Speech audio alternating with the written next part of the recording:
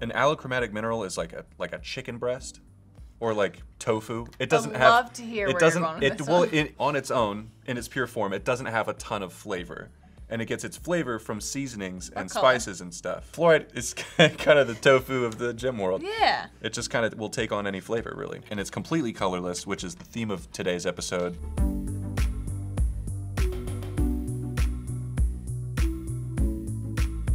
Rebecca, I was taking a, a once over on our channel. We've unboxed red gemstones, mm-hmm. we've unboxed blue gemstones, green gemstones, yellow, orange, even. You know what we haven't unboxed? Tell me. Colorless gemstones. Ah, oh, okay. Oh, okay. The first thing that stood out to me was its extreme Strong double refraction. Double refraction. And this specimen is calcite. Calcite comes in a variety of forms. This is what we would call a dog tooth. Calcite is known for that double refractiveness that Rebecca was just mentioning. Most gemstones are doubly refractive, but most of those gemstones, you cannot see it without you know, some sort of magnification or a special tool to detect it. But calcite is so strongly doubly refractive that I can literally hold my finger behind the crystal and you can see that there's two of them. There's my fingertip has two edges, which is crazy. Double refraction basically describes when a single beam of light enters a material like calcite and it takes that one beam and it splits into two. That's why you see two images of my finger instead of one because two beams are hitting your eye. And you can measure that degree of splitting, and it can vary even within a gemstone. And so, calcite has a huge difference in the highest and lowest angle of splitting. And so, what you have there is what's called birefringence, which it affects again this very extreme double refraction. Because of this really unique optical property that calcite has, there are uses that are outside just aesthetic. When you have this really pure, transparent, colorless calcite, it's a variety called Iceland spar. In gemology, for example, Iceland spar is used in dichroscopes. It's said, or it's at least theorized, that early navigators would use this kind of material to detect the position of the sun on like cloudy or overcast days, which I think is really cool. So, of course, that's Iceland spar, which is one variety of calcite. This is not Iceland spar, but it's still pretty transparent. And again, mm-hmm. it is it is colorless with maybe a a little bit of brownish coloring, but of course calcite can be a lot of different colors. Mm-hmm. You most often see it in like this yellowish Yeah, kind of an earthy yellow. orangish, yeah, earthy color. But you also often see it in this colorless. Let's just quickly talk about how gemstones get their colors. Sure. So there are multiple ways. Some are more common than others. So you have a chemical composition for all gemstones, and you have impurities that create different colors. You can have different atomic placements Yeah. that create different colors. So fluorite is a good example of Yeah. that. You know, in diamonds, you have the band gap theory. One of the more common ways of coloring gemstones is by dispersed metal ions. So you have these different elements with ionic charges Mm-hmm. that enter into a chemical composition and create different types of colors. So we see that a lot with like beryls and corundums Gotcha. and some of the more popular gemstones that's typically how they're they get their colors Yeah, so all of the gemstones that we're going to look at today are in their pure form. They're all colorless. you want to do another box Yeah, let's do it. Nice.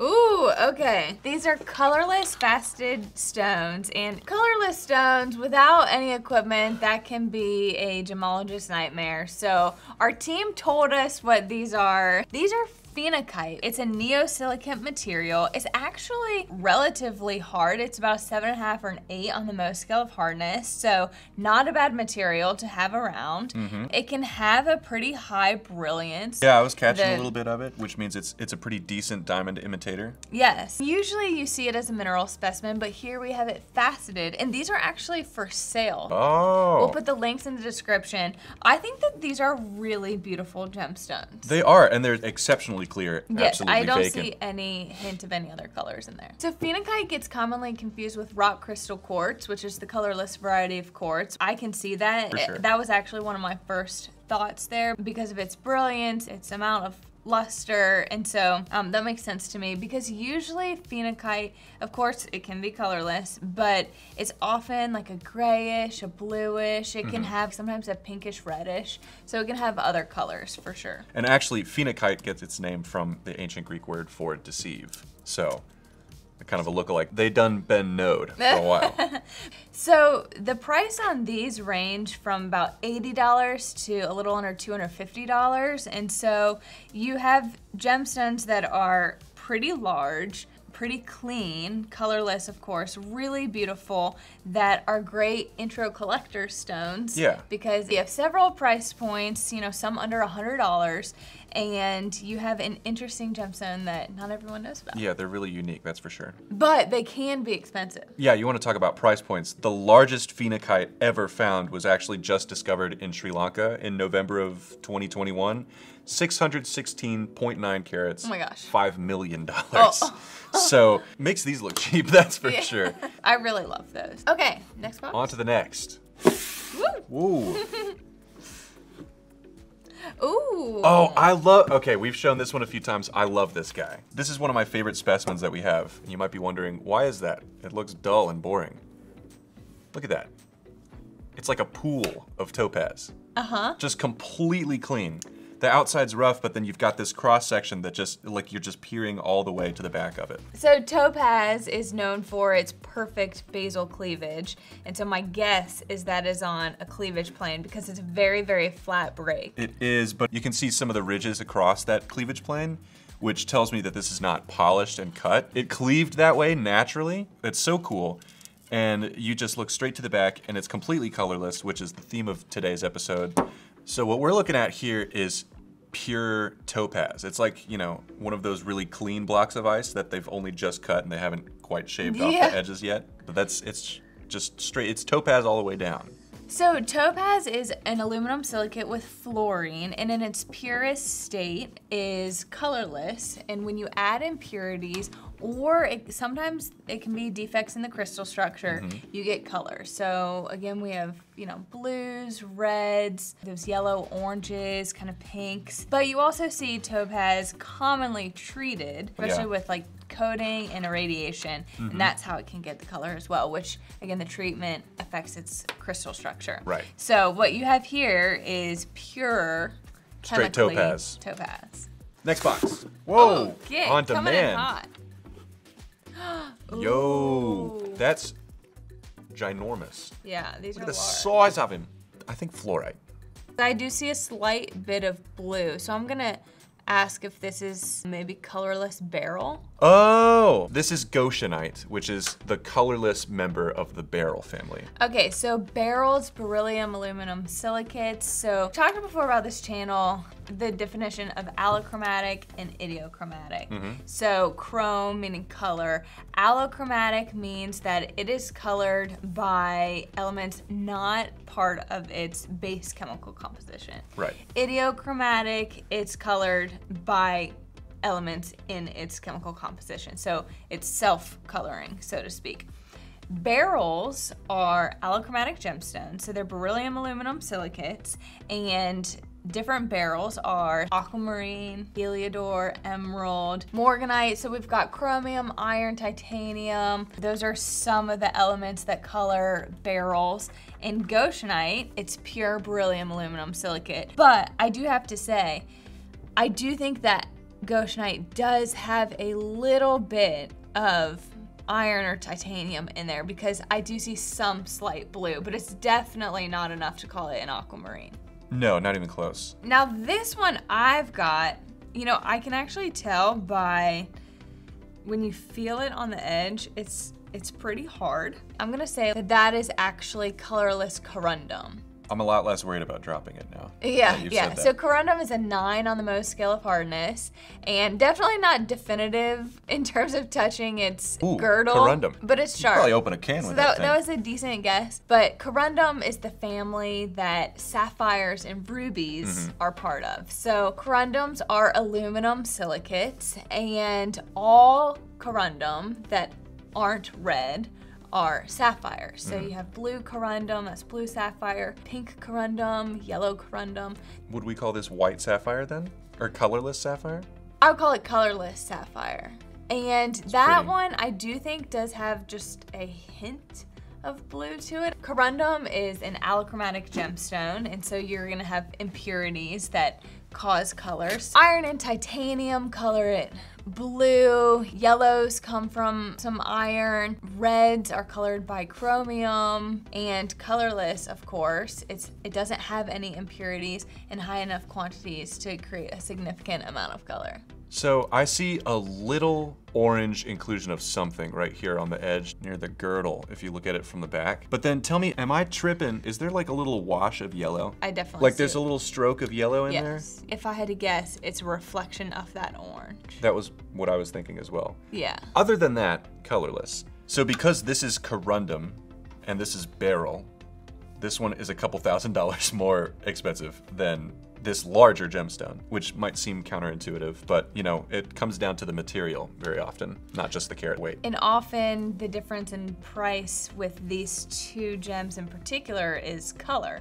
You don't have color going true. on there. It's true. So the colorless varieties have vastly different price points, but honestly, both are really pretty and unique Mm-hmm. for their own reasons, and I really like both. I actually, in a lot of ways, really love this one. It's got a rounder, softer overall appearance, whereas this one, not only is the girdle quite sharp, but it comes down to a serious point down there at the, There's at the kind tip. of an intensity to this one. And again, if you're interested in any of the faceted pieces that we're showing you today, they're all available for sale on our storefront, gemstones.com, on Jedora. And we'll put the links in the description so you can check those out because again, what we were saying earlier, with colorless gemstones, it's really fun to have a variety of options. And hopefully, Yeah. you guys are seeing already so far in the episode how many different colorless gemstones there are. Okay, let's see more. Cool, yeah. Bigger box. Box. Oh my gosh. Check that out. I think I guessed a little early on the last box when I said fluorite. Oh, Because yeah, these are no, giving no. cubic. No, you're totally right. I know. Wow, these are really clear. Okay, so the team gave us a very nice hint of including rough specimens here Yeah. because you can see so helps. Fluorite is in the cubic crystal system mm-hmm. it has four planes of perfect cleavage mm-hmm. and you can see these cleavage planes on what probably used to be a cube at some point Yeah, it's so it's similar to the topaz. I'll try and show it again. Where if we can get the light to reflect off of the topaz and off the fluorite, you can see in both of them this cleavage plane. It's not polished. It's not cut.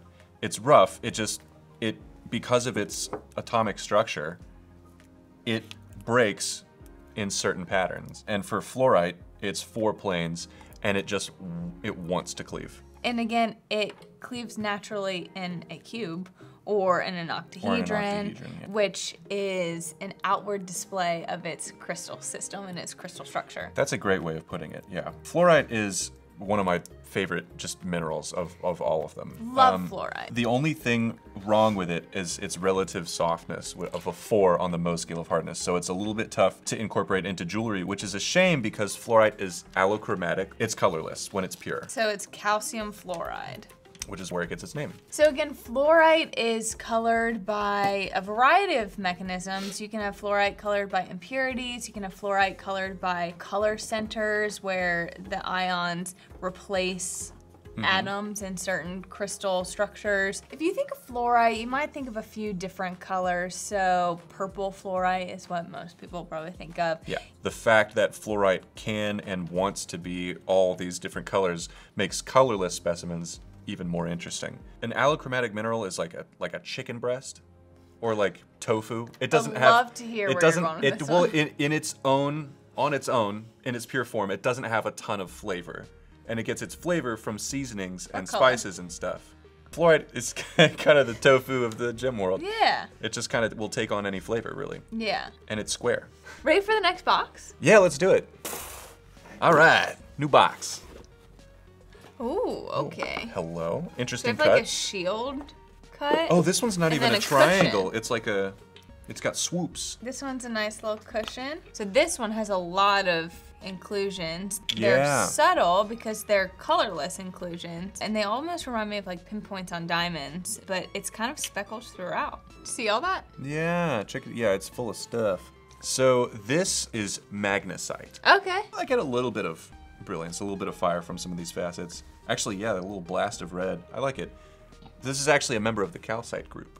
Okay. Like fluorite, it's impressive that this is faceted at all because it has three planes of perfect cleavage. But like calcite, it's not very hard either. I've got a different one. I've got beryllonite. Okay. So this has beryllium in its chemical composition, and beryllium as part of a gemstone is actually relatively rare compared to a lot of the other gems. yeah. So, you know, you have a lot of silicon, oxygen, aluminum, iron. Beryllium is a rarer element, and so to have it in a gemstone can create a bunch of really cool properties. It's mainly found in Maine, so here in the US, which is really fun. It's often pretty included, which makes sense based off of the gem that we see here. It's not that the inclusions are that visible from like a contrast perspective, because again, they're they're kind of Yeah, it's colorless, all kind of- but they are definitely visible with the naked eye, which makes it really cool. About five and a half to six on the Mohs scale of hardness, and it's just another one of those gems that is more niche that a lot of people don't know about. Yeah. And it's a great collector's item, especially if you're looking for gems from the US. Of the gemstones named for their beryllium content, this is probably the least famous. So actually, beryllonite is relatively new from a naming perspective. It was named in the late 1800s, which might not sound that new to you, but from a gemstone perspective, a lot of these stones had Yeah. names well before the 19th, 20th, 21st centuries. All right, next box. we each get a box, Rob. Oh, great. Sharing. It's caring. All right. Okay, so we actually have two different gems. I've got Okay. Danburite. This is another U.S. gemstone. It was named after Danbury, Connecticut, so again in the Northeast. It's about a seven on the Mohs scale of hardness, so you know it's not a corundum or a diamond, but it's not a fluorite, so you can wear it in Yeah. everyday types of jewelry items. Danburite is known for its excellent transparency and clarity, and you can see here in both of these, there really are no eye visible inclusions, really nice, colorless color. As opposed to a lot of the other stones on this table, which we more commonly see in their colored form, Danburite is actually more often colorless. And it's known for its thermoluminescence. So thermo meaning heat, luminescence meaning light. Yeah. And so it can display red when subjected to heat, which is really cool. These are for sale too. So if you buy one of these, you can test that out and let us know how it Yeah. goes. So this is pollucite. Cool thing about pollucite, I love names and where gems get their names. Pollucite is named after this mythological figure named Pollux, who was one of two twin half brothers, Pollux and Castor. And the reason that they named pollucite after Pollux is because it often forms an association with petalite, which used to be called castorite after the ah. other Oh. twin. So they formed together so they I have the twins' that. names. Yeah, it's pretty cool. And it doesn't occur very many places in the world. 82% of the world's pollucite reserves are all in Canada near a specific lake, Lake Bernic. So well-formed crystals of pollucite are very rare, which is what makes these two cut stones so interesting. And also, pollucite is usually used for industry. Pollucite is a very significant ore of cesium. Okay. Yeah. So most of it doesn't get faceted. So the rough stuff is not for sale, but the faceted stuff is all for sale. Everything that we went over today. All of the links will be down in the description if you want to check those out. I think they might be interesting to look at just like the varying pricing because none of these are going to be priced based on like raw color, right? They're all colorless. It's going to more be dictated by the material that it is. Yeah. So Rebecca, it's that time of the episode where we have to select something to take a closer look of. Okay, I'm gonna take something from your side. Okay, that's great because I was, I'm gonna take something from your side. Excellent. Okay, I'm gonna take the colorless You beryl. do like the beryl. I do. I love beryls. It's one of my favorite families of gemstones. I personally think the colorless variety is really fun. So I've, I've got the Goshenite. Okay. I'm gonna snag this Iceland Spar variety calcite. It is truly spectacular to look at. I love the cut job on it as well. This extra cut near all the edges kind of gives it a sort of alien future tech sort of look. And I want you guys to really get a good look at the double refractiveness of calcite. So let's take a closer look.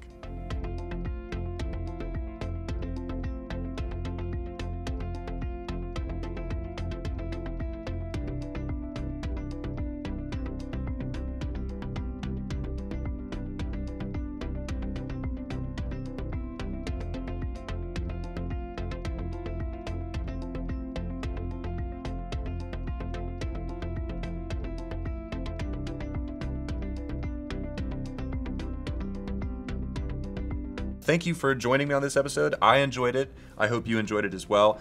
I especially hope you guys enjoyed it, and if you did, don't forget to like and subscribe and ring the bell so you don't miss out on future videos. Thanks for watching.